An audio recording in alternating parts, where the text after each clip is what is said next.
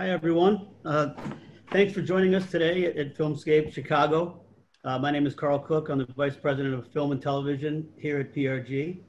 Um, and uh, I'll be hosting the panel today, uh, Solutions for the New Production Landscape. And so we have, we have some very talented people with us uh, from PRG that uh, I'm gonna go ahead and introduce. First up, we have Jeroen Hallaert. He's Vice President of Production Services at PRG. And he oversees our film and television off offerings within uh, uh, the virtual production realm. Uh, him and his team. He's one of the uh, one of the smart guys behind the scene.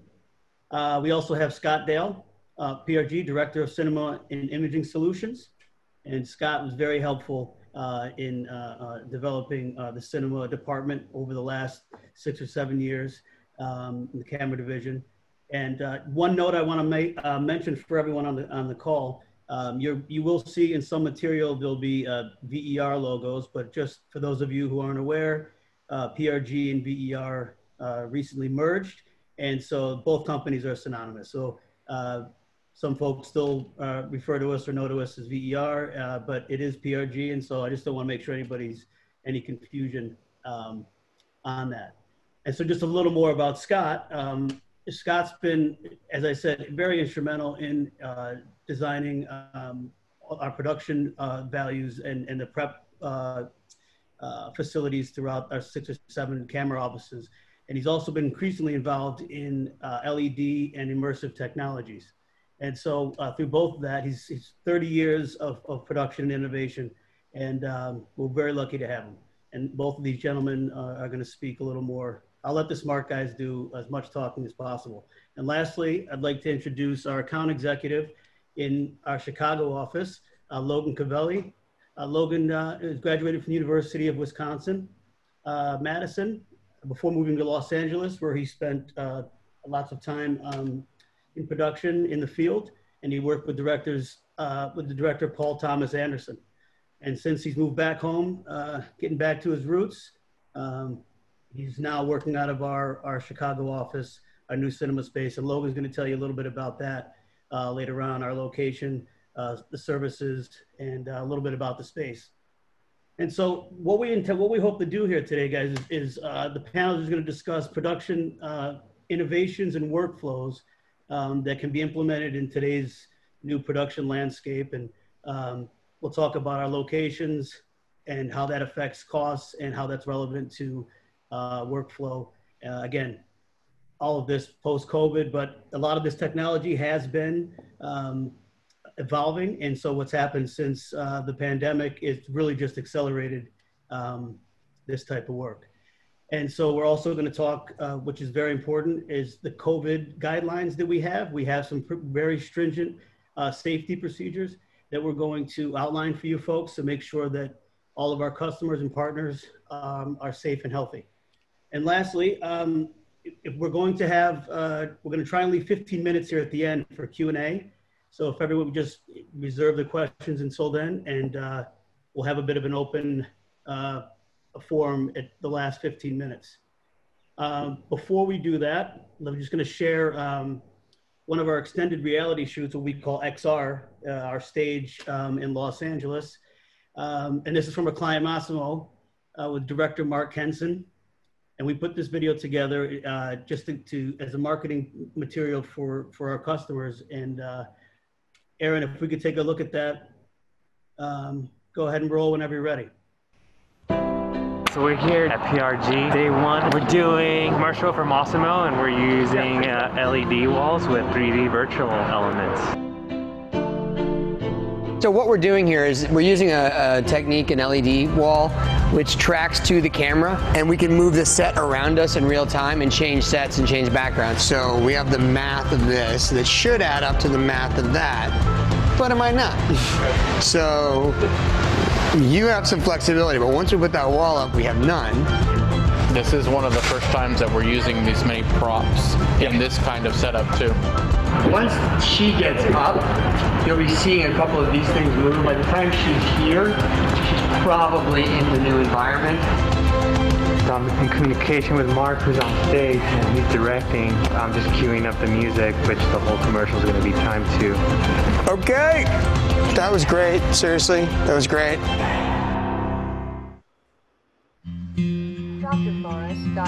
There are those we count on to support us, no matter what. Is everything okay, Doctor? Yes, Whether we see them or not, we need to know that they're always there.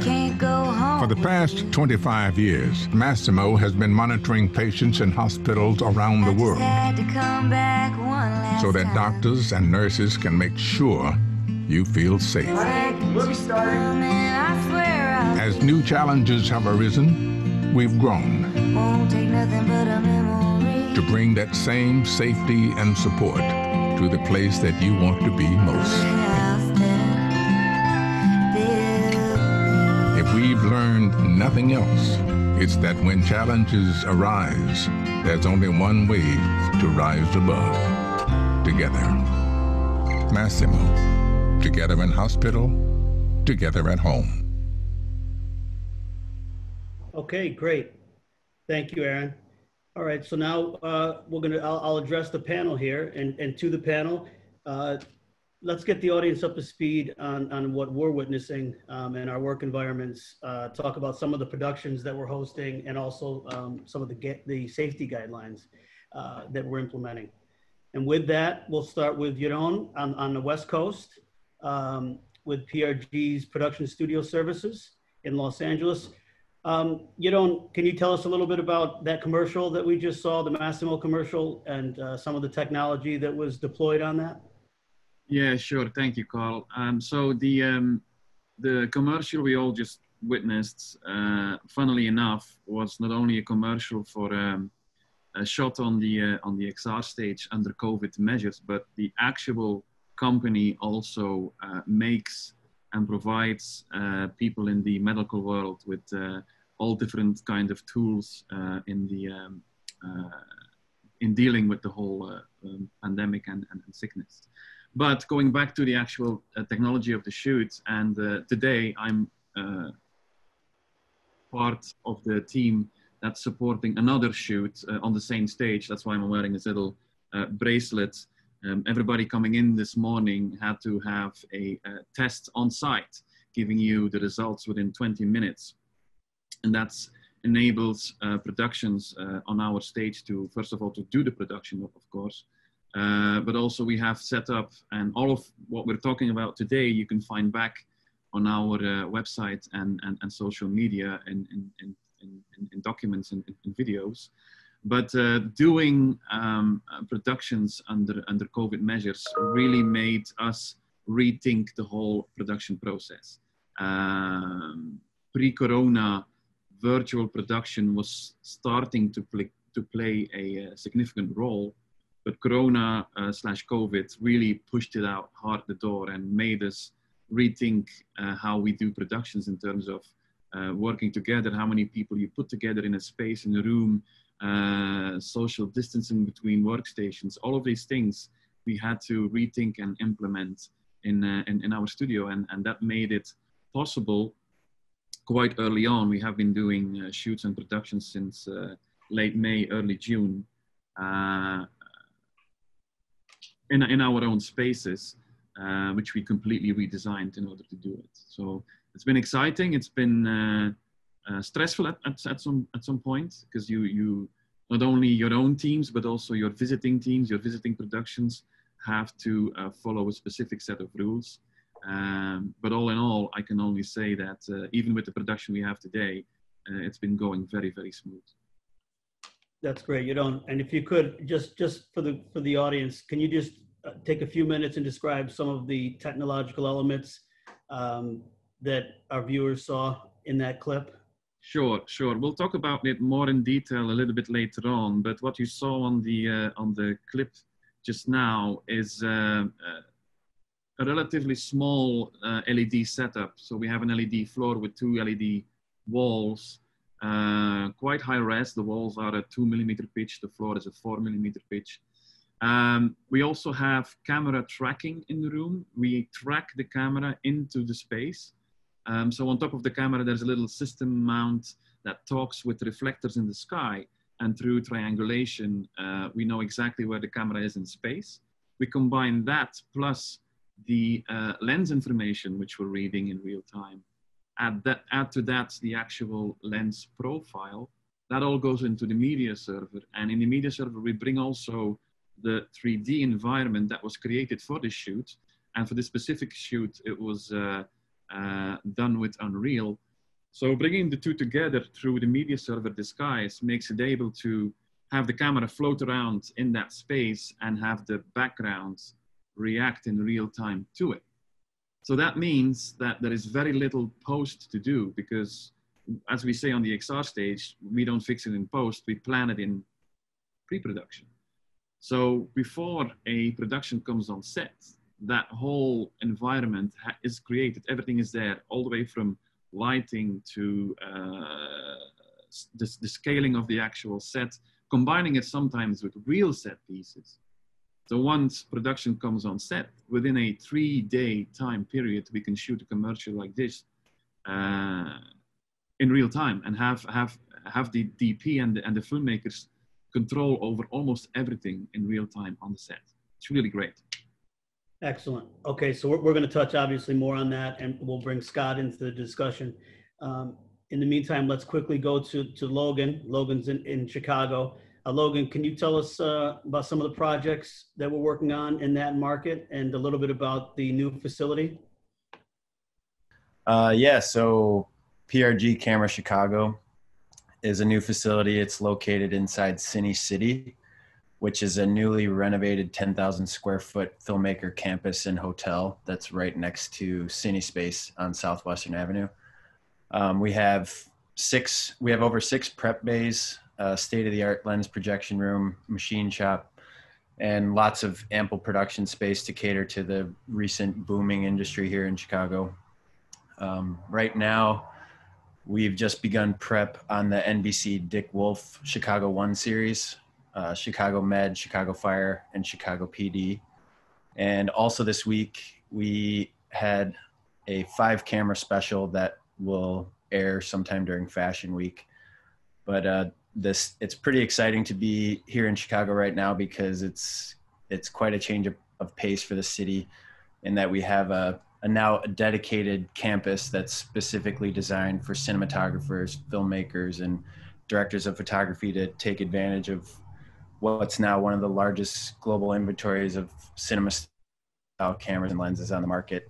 And then, you know, just being 10 miles away from our 95,000 square foot depot, that really brings it all full circle where we can truly provide a 360 degree uh, full production package, which can include lighting, enhanced environments, installations, and uh, broadcast systems engineering. Um, yeah, it's uh, you, you guys got to come check it out. It's pretty it's pretty sweet. Yeah, it is. Uh, it is very impressive. Uh, I've been there a few times, and of course, uh, we would have had an open house by now, but the world as it is. Uh, so as soon as uh, uh, the world rightens itself, we will uh, uh, be having hosting an open house. But uh, Logan, thank you very much. And can, can before we go, can you tell us um, and tell the audience a little bit about the, the safety guidelines and protocols we have for that office? Yeah, um, our approach complies with governmental guidance and administrative controls pretty much uh, across North America. We do everything um, to ensure the safety of everyone that comes into our buildings or any of our work sites.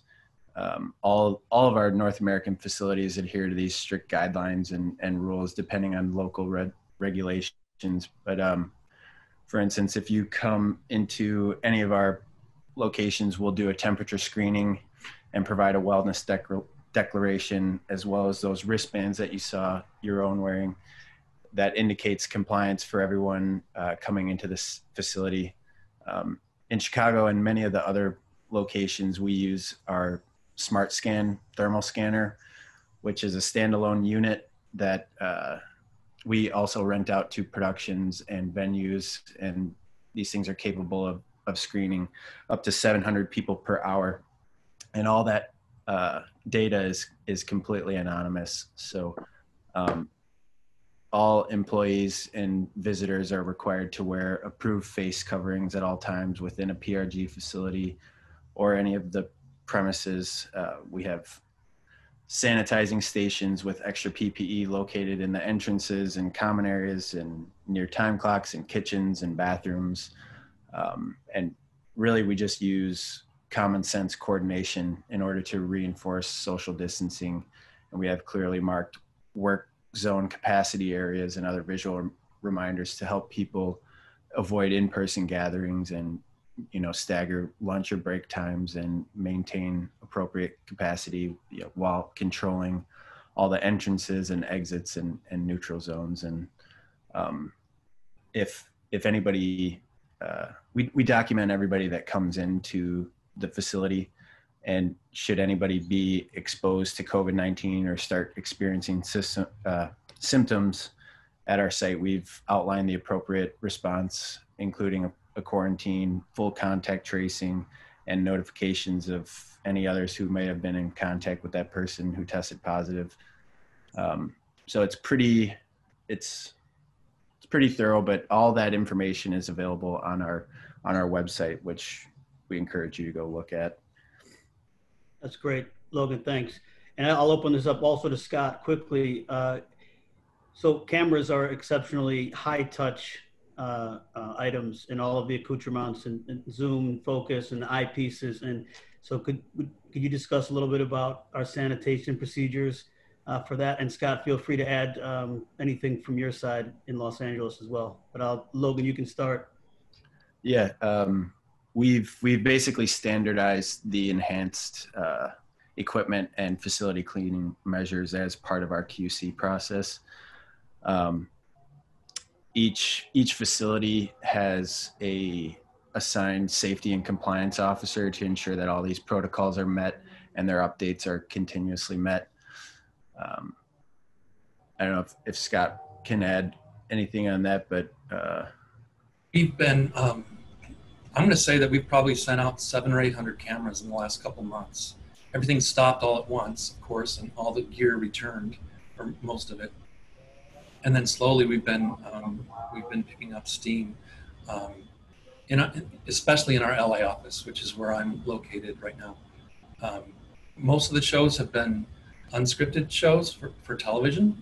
Um, movies and scripted shows are just now starting to come back.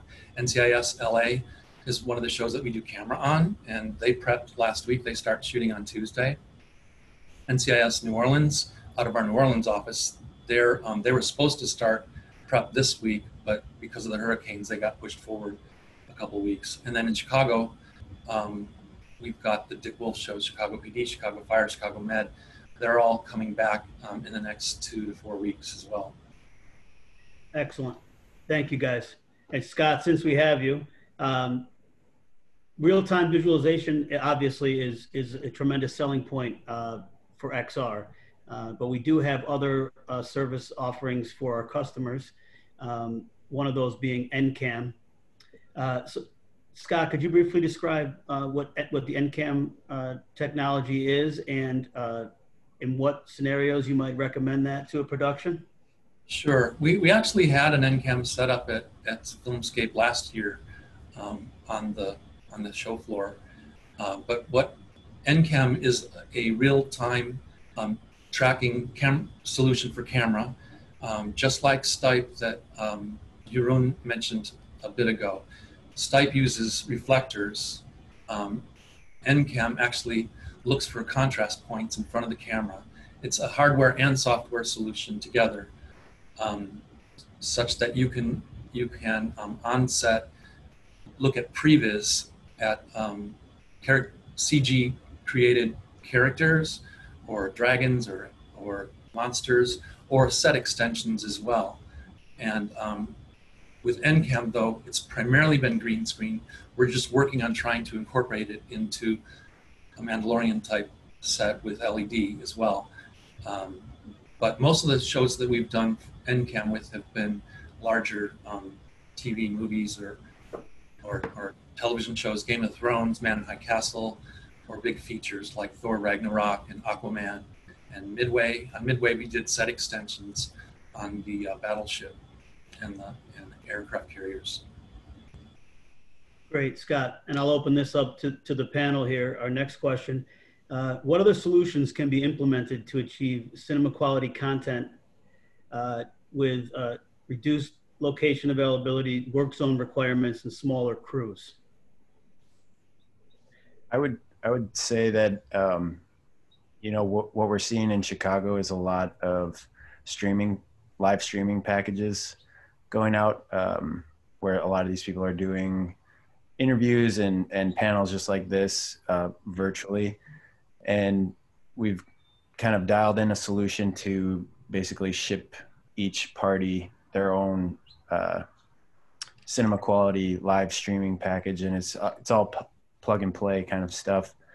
Um, the other thing I would I would notice that uh, as things start to get a little bit more compartmentalized, we are seeing that each each department within a production is basically getting their own video village package. So we're putting a lot more wireless uh, wireless units and kits in in different uh, productions, and I would say that the the biggest change so far is the the remote viewing um, that we're seeing. So a lot of people are are directing. You know, you you can live stream your content to the producers in in New York or across the country, and um, basically keep everybody distance, but all viewing the same image in real time. Thanks, Logan. Your own? Yeah, it's the, film business, whether it's scripted TV, feature film, or, or TV, always been powered by the capabilities of, of current available technologies. Be it about the invention of the color television or the progress of cinema related technology to special effects capabilities, the, the adoption of new technology is clearly impacting the way we produce and consume movies and other video related uh, entertainment products. A, few years from now, uh, extended reality powered experiences will, will become accessible for large mainstream uh, markets. Um, I, I, would suggest we have a look at, at the last few years of uh, enhanced environments with the combined companies VER and PRG and, and how this process really has evolved under under under COVID restrictions. I brought it up earlier, but but COVID and and making us work remotely and do work remotely and plan uh, production processes different. Uh, that's going to really drive uh, future virtual production. So we put together a, um, a presentation explaining a little bit more into detail what uh, enhanced what we understand under enhanced environments and there's there's three main categories under en enhanced environments first one is is the car process uh, some people call it overdrive uh, but it's basically replacing a green screen environment surrounding a car or any vehicle it could be a train it could be a uh, stagecoach it could be a, a spaceship whatever um, Scott touched base on NCAM. That's also something we consider uh, being an enhanced environment. And then a little bit what we brought up with the uh, commercial in the beginning on the XR stage is really the, uh, the, the, pinnacle of what uh, enhanced environments is. But to explain a little bit better, we, we're going to go in depth into the three main uh, pillars of enhanced environment, which is basically uh, LED on one side, right in the middle sits media servers, and then obviously camera as well. So our work really consists of uh, groundbreaking productions across the globe in every form of media and at every scale. Um, we do have a very strong presence, not only in TV film, but with the product specialists in other markets, which we can tap into. Uh, it really enables us to, uh, uh to be on the forefront of, of innovation in this world. Um, we, this shows our, uh, our global footprint. Um, we have currently close to 70 offices around the world. As, as a combined entity, we're now even larger and more diverse company involved in many areas of, of entertainment with great depth and breadth of inventory across, across the, the whole globe. And um, we have experts on our team in almost every aspect of our industry. So this is a this is showing a little bit the uh, the the umbrella under under what everything falls under under enhanced environments. And and it's all the way down from uh, again don't fix it in post the planet in pre-production from your development the breakdown of your script and then adding in uh, media servers gaming engines such like unity unreal uh, but even a graphic engine just like uh, like notch combining it with cameras rigging lighting actual vfx uh, and we do everything in, in, in real time. We really want to have and hand over the, the handles and the controls to the filmmakers on, on set.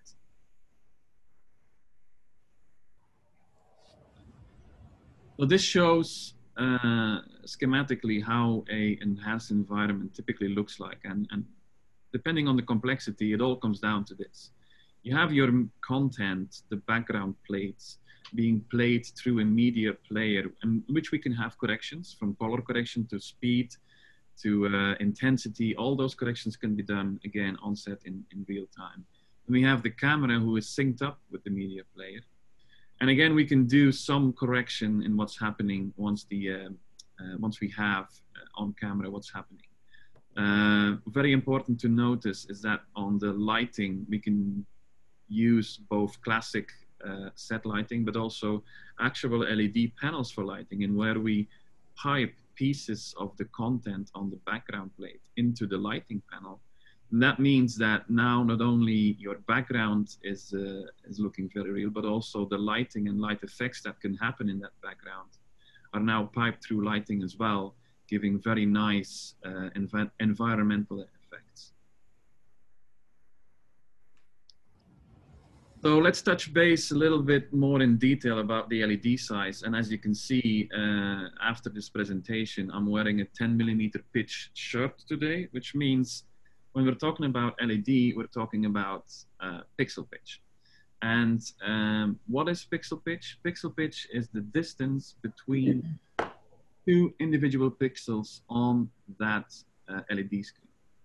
So heart to heart uh, distance between the RGB, red, green, blue uh, LED, which is actually, the actual LED is, is in fact a small uh, diode consisting of three uh, LEDs, the three colors. Distance between is a pixel pitch. And then there's also something very important to notice in um, shooting uh, in front of an LED screen, especially when you have it in camera, is that there needs to be a uh, blackness, not only a blackness within the pixel, but also a blackness surrounding the pixel. Because we need the camera needs to find uh, contrast. Um, so that means everybody is now chasing for that higher, higher resolution and that smaller, smaller pixel pitch. But in fact, what we found out is that there is an ideal, uh, at, at least currently, there is an ideal pixel pitch to be found between 2 and 4 millimeter. Everything below 2 millimeter will mean that there is not enough blackness in, anymore surrounding that uh, little pixel.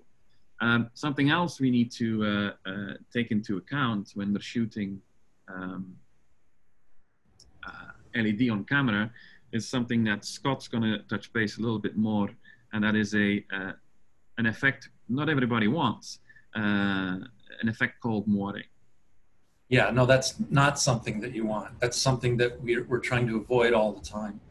And, um, you know, of course, our industry's been doing rear screen or front screen projection for many years. And it wasn't really until the last eight years or seven years or so that an LED panel, that the pixel pitch was tight enough that you don't see moire on it. But of course, what makes the whole trick work is that it's slightly out of focus there are times when you can focus on the screen, um, but uh, moire is what we don't want to see. And actually, I think I've got a, slide here. So what you see on the right side of the screen is moire. And I, I know most of you probably know what it is, but it's, it's an unwanted side effect that can be corrected by changing the focal length of the camera or the aperture. In this slide, the reason that there's moire there is because it's a lower resolution panel, but in this particular setup, we were only using it for lighting. Camera was not going to be looking at it. And we did see it though, of course, with my, my smartphone when I took the picture of it. So with LED walls, once we go onto sets, we can uh, configure and build them in different ways. Um, all the way to the massive example that Disney used with Mandalorian, in where they speak actually of an LED volume consisting of over 2,000 LED tiles, which are curved around a set. And that's a combination of uh, both hanging and stacking, as we call it. So building it from the ground up like little, little Lego blocks um, or actually hanging it completely from the ceiling. Obviously, some studios will, uh, will won't be able to to hang even smaller uh, LED screens, so that that pushes us towards building it from the ground up. But also LED screens can be curved. We don't curve within the panel. That's actually not beneficial for the uh, for the camera. Uh, but we we curve uh, with segments. So every um, individual LED panel will form a segment on that curve or bend.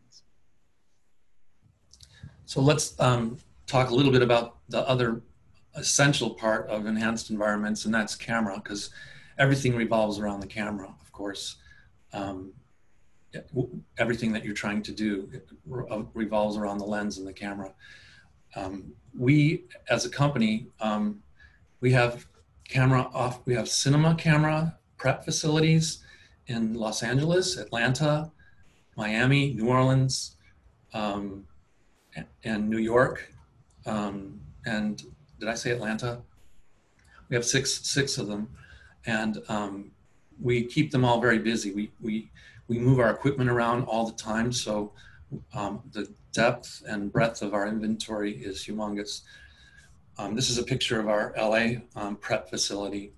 Um, so professionals who take advantage of our camera prep facilities have access to all of this inventory and and uh, talent and um, from thoughtful design to in-house expert technicians and engineers, the six prep facilities were created to meet the needs of our community, our production community. And then we got final, uh, the final ingredient in the uh, enhanced environment cake, which is an equally important to the previous two. Uh, and that's really the media servers. And depending on uh, on the complexity of the scene, the setup, uh, those media servers are being uh, picked uh, regardless of brand. There's, there's many different brands uh, that are currently available. But you need to spec your media server really in function of the shoot you're actually doing. And the media server will allow you to do uh, partly the, the, the, the, previous work even uh, before going on, on set, all the way to uh, controlling the um, the content on, on set. So different media servers, different setups. And that brings us to, to, to planning the actual uh, shoot. So we, we use uh, CAD software to develop the, the setup before we actually start building it. And uh, using uh, CAD software, using 3D models of, uh, of the set. In this case, this was a helicopter shoot where we had to wrap uh, the helicopter partly with LED screens. So um, that, that will help us massively defining camera angles that uh, either are predefined through the breakdown of the script or we can actually advise the DP on, on camera angles that can be achieved with the LED surrounding a, a certain uh, set piece. And, and we, we can also, uh, uh before going on set, we can also uh, uh, try to recreate uh, the reflections that are potentially uh, being had on, on set. And that brings us uh, very nicely into a, a, little video clip, which um, Scott will share with us. And this was shot last year at uh, uh, Cinegear uh, and NAB, where we had a car process set up. We had a, a, a Mini Cooper um, surrounded um, all the way around, sides, back, top, ceiling, with um, with LED screens, and it showed very nicely um, it's really a, a, nice way of explaining how uh, LED screens can be used for uh, background plates, uh, for lighting effects, for reflections on shiny surfaces. Um, it's really a nice way of showing what can be done on a, on a smaller scale. So Scott, if right. you're roll. Sure, sure. Eh, eh, um, so what we're doing is we're doing lighting, reflections, and as we've gotten higher density panels for camera to actually look at, um, doing what I call green screen replacement. So I'm gonna, I'm gonna play this this piece um, right now. You know, if you look at films these days and you, you literally wonder if they were actually traveling or not, it's because of the advances that PRG and VER have been able to make, supporting filmmakers to achieve these shots. This enhanced lighting technique enables you to run the actual background plates on LED screens outside the windows and above, simultaneously light and composite driving shots. One of the immediate benefits of using a system like this is that the actors can look out the windows and know where they are. In my experience, actors love it. They walk on the stage and they're always surprised. They expect a green screen and then they see what's actually in front of camera. Like in my case, we shot a helicopter crash and at some point the helicopter started spinning and they just looked out the window and saw the world spinning. This actually has a big effect on budget because there's no green screen outside, there's no compositing, there's no uncertainty. These are finished shots. It could be inside a penthouse in Dubai. It could be a spaceship. It could be traveling towards the moon. It goes into the headspace of this company and, and they can come up with solutions for you. So it's you don't have to be bound by what's been done before. You can look forward to something that hasn't been done. One Irishman is a recent example of car process work. Um, we cannot repeat the strong language that Al Pacino and Robert De Niro used when they they walked onto the set and and saw the setup, but um, this is this is what it looks like. So all of the uh, uh, car shots that were used uh, within the movie, uh, believe it or not, were done using a uh, LED environment. So um, the LED environments also made it uh, possible for the um, the special camera rig, which made it possible for the de-aging and the aging um, effect they, they, they use in the movie, but doing it in a very realistic way surrounding those cars uh, made it possible to, to, basically film any way they, they, they wanted it. Um, a very nice example here uh, showing both lighting and uh, re reflections. This, this was um, a movie which we did, I don't know, five years ago or six years ago, uh, Murder on the Orient Express. This was one of the biggest volumes we built up until that point. Um, and it was made in such a way that the end caps um, at the end of the long part of the room can open up and then you can bring one train car out and pull a different one in.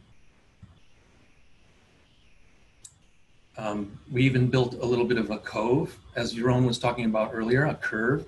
Even though the panels are flat, we can do something like that in case camera was up high, you know, looking down inside the, the train car it's really one of the, the, it's the very beginning of using uh, the word LED volume uh, as a way to name these uh, large LED setups and canvases.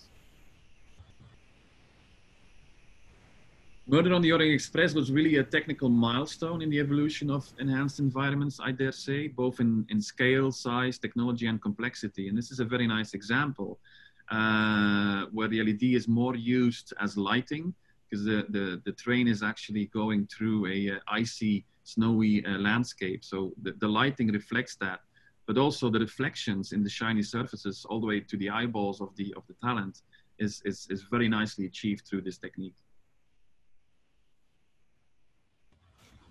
And uh, from, from that point on, really, we, we were able to uh, diversify more products uh, used for this process.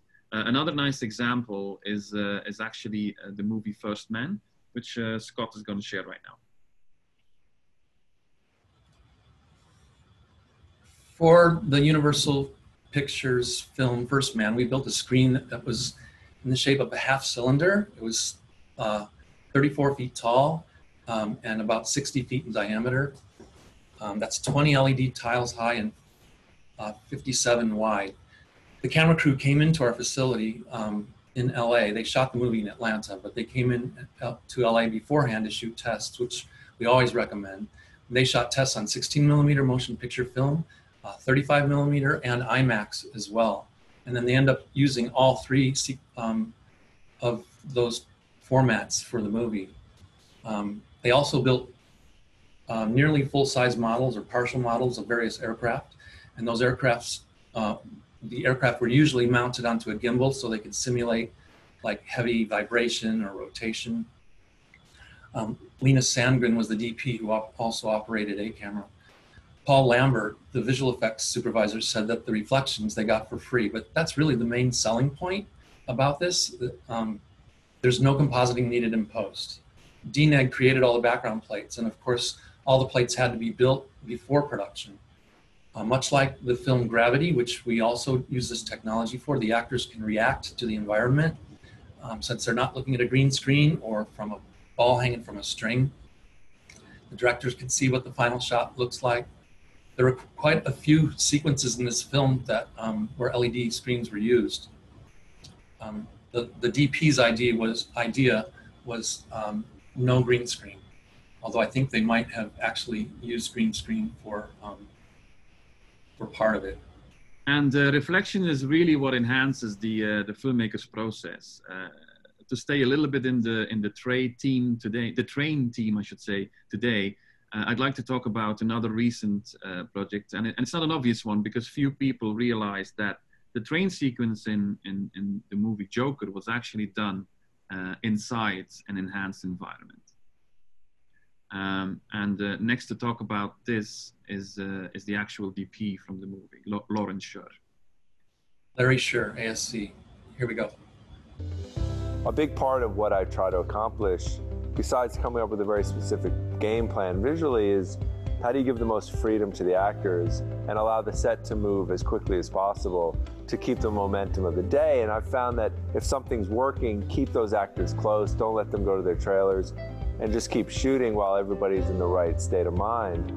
And what's really great about enhanced environments and the way that the LED technology has allowed you to make these environments live on set, you realize what effect it has on the actors and what effect it has even on the filmmaker like myself as a cinematographer because suddenly you're not trying to coordinate that background later with the lighting that you're putting in but you're actually able to photograph it in real time and make decisions and bring the lighting in real time as you photograph it in ways that necessarily you can't do when you're shooting blue screen or green screen.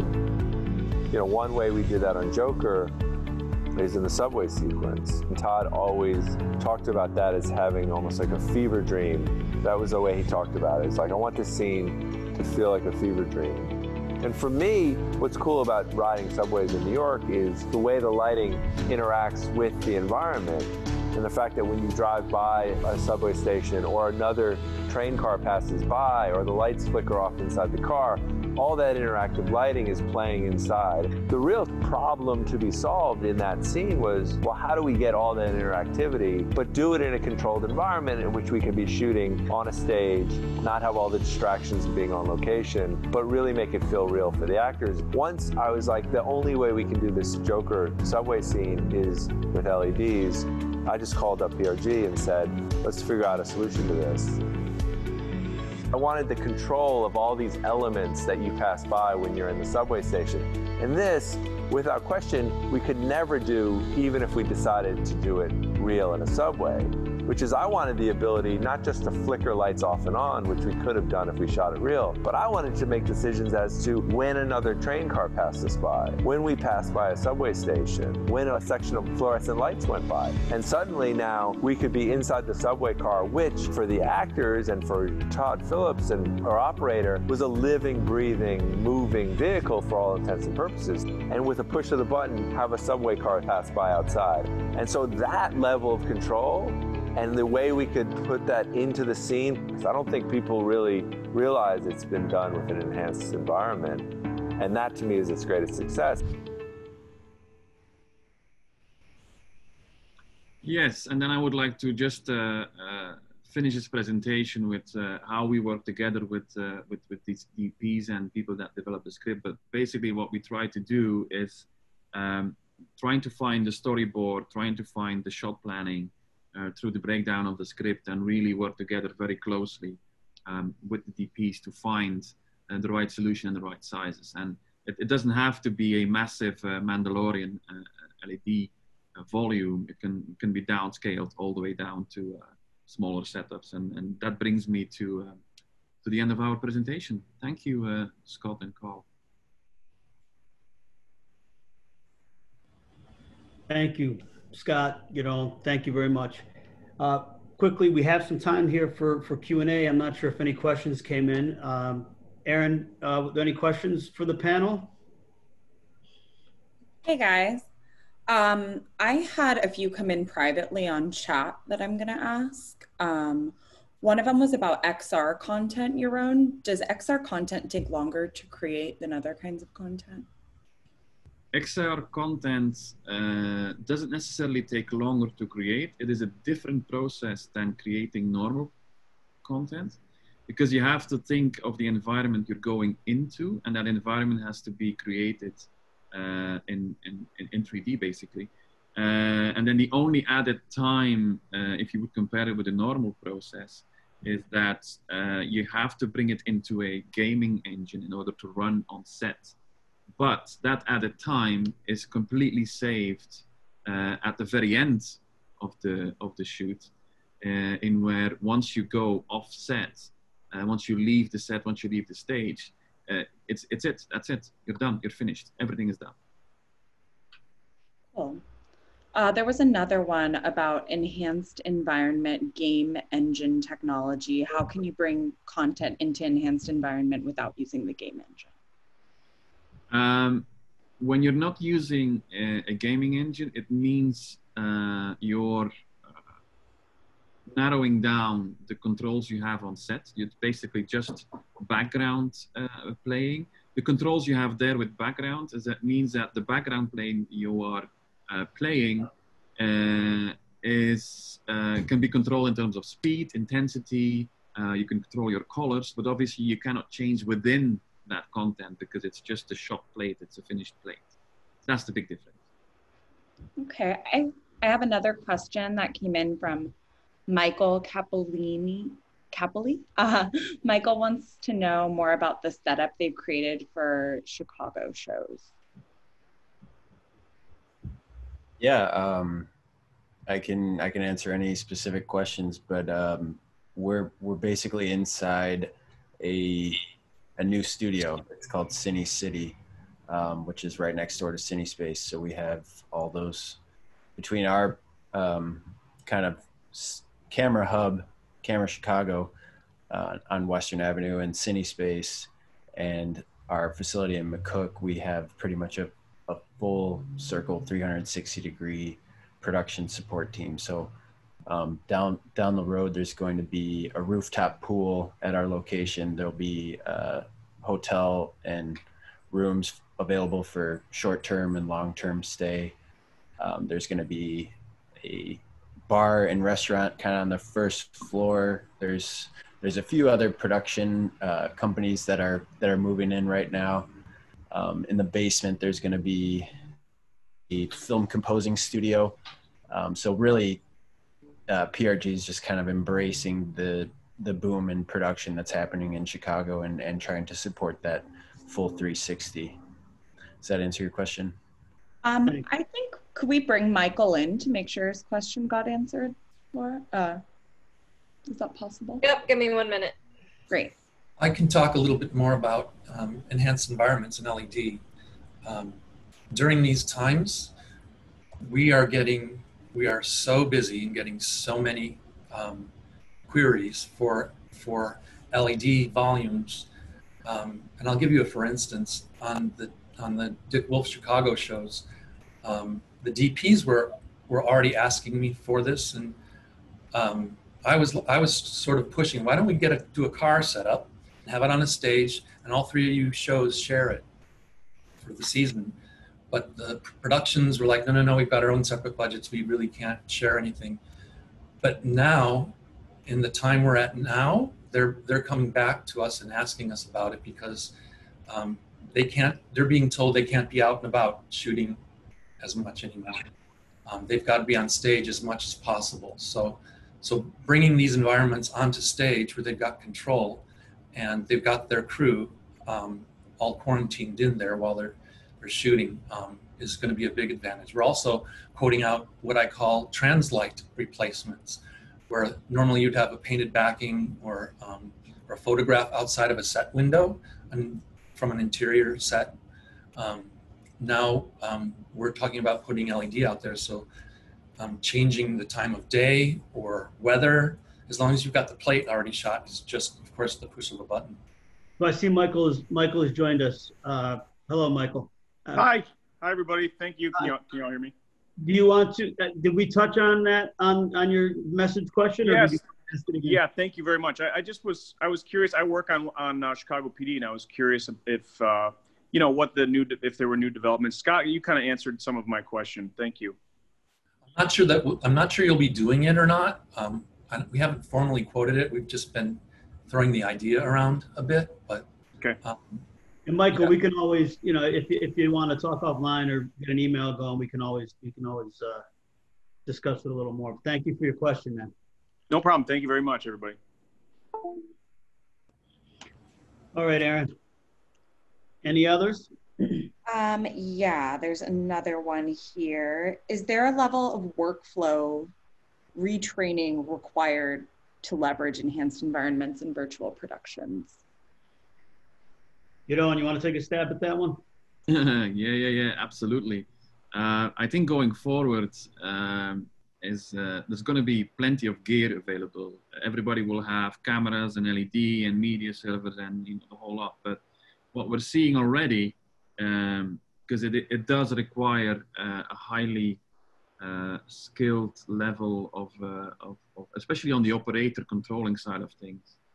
Um, there's just going to be a shortage of, of people. We, we, not only we, but uh, the industry has to has to start thinking about uh, creating a bench of people uh, all the way down to the film schools, uh, in where we train uh, people in, in this new way of, of filmmaking.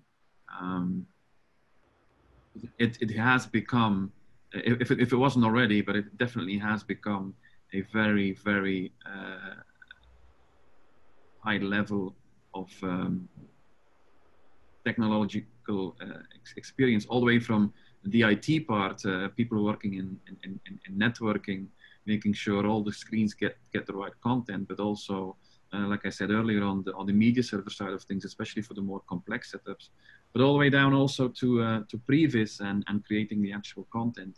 It has become way more complex because the more flexibility you want to have on set, uh, the more that has to be brought in on the front end uh, to, to deal with that. And then the next limitation will be actually uh, computer uh, power, because that's going to be the next limitation next to uh, people. Excellent. Great. Thank you. Um, I actually have a question for you too, Jeroen. Um, You've said in some interviews that you believe Hollywood filmmaking will become increasingly more virtual in a post corona world. Can you tell me about that prediction and how enhanced environments plays into it?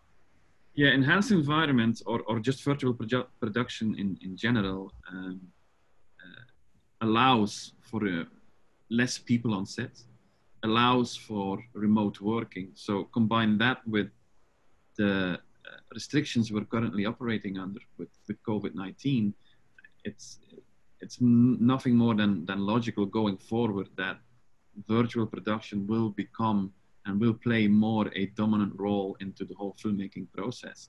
Uh, because first of all, we can continue making beautiful content, uh, but also uh, we have to. We have to do it in a different way. We have to do it remotely. We have to do it with less people on set and we have to do it more spread apart. So uh, one and one in, in this case is is really two. Thank you. Aaron, anything else? Yeah. No, that was um, all I had from my end. Okay, good, guys. Well, we're getting up against it, so I think we. Uh, anything else quickly, Logan, Scott? Any any panel want to add to uh, to the discussion before we wrap it up? I, I see Colin Lindgren on the chat channel reaching out to us. He is the programmer board up on Chicago PD and uh, excited to work with us with uh, the LED process. And apparently, this is the first time he uh, he heard about it. So, Colin, can you uh, expand a little bit on your uh, on your question? Hi. Uh, I guess I don't really have a question. I was just excited to hear about it. I guess if I do have a question, um, in in what you usually send out for media server equipment in this scenario? I've seen um, Catalyst and I've seen Resolume. Are there other servers that you guys use? Absolutely. Uh, there's also Hippotizer. That is uh, disguise, formerly known as uh, D3. And then there is also a uh, PRG VER proprietary product called Mbox. So with the ones with Resolumen you just said and uh, um, uh, Catalyst, although Catalyst is being used less and less, I think you you have the uh, uh, not all of them, but at least the, the most used of them. Cool, awesome. Um, we do have one more question. We have about three minutes to get through it. Um, Ian Scott asked, as an LED tech in Atlanta, are you seeing more studios asking for multi-LED car process or enhanced setups? We can start with that. Before COVID, I would like to see some studios rent LED for a matter of weeks and use it for production, but also move it around the studios from week to week. As things are more contained and restricted, do you think it's better to have more of these setups set in with studios during these current conditions? You know? yeah. We, we see a, a, lot of those questions in where, where studios indeed are uh, uh, asking for us to do a, a, a semi-permanent setup. Uh, the unfortunate thing is with these uh, LED environments is that there is no one size, one solution that fits all. It's just impossible. Uh, there are, every DP will ask for a different angle, a different camera, uh, and that will translate itself into having to provide different pixel pitches, like I discussed on the on the presentation, uh, different size, a curve, non-curve, ceiling, no ceiling. So the only thing that would make it more uh, efficient, so to say, is when you have the gear actually at your uh, disposal inside the studio, so you avoid doing big load-ins and big transports. So that's that, that is something we do see with the uh, with the studios is that they are becoming increasingly interested to have direct access uh, to to gear and, and inventory. You know, and I'll, I'll add to that, and then um, and then Aaron will go ahead and wrap it up. But uh, to your point, now because this technology is so is going to be so prevalent uh, post COVID, um, to to Jeroen's point, uh, it's not a plug and play system, and so it's always been challenging to have uh, just a dedicated setup for productions to roll in and out. But now, because of the volume we're experiencing, and because of the the, the need for uh, uh, uh, virtual sets.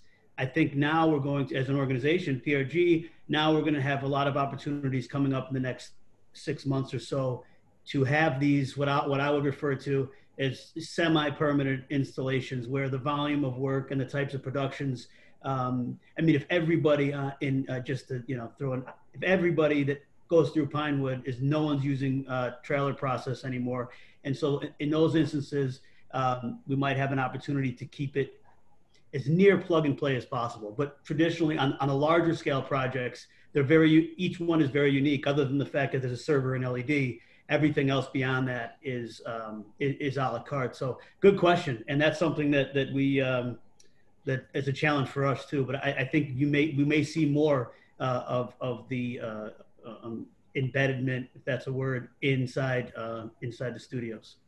So um, good question, as I said. Anything, Aaron? I'm going to wrap it up unless we have anything. Uh, okay, um, I'd like to thank the panelists and the audience, um, and of course, a huge big thank you uh, to Filmscape.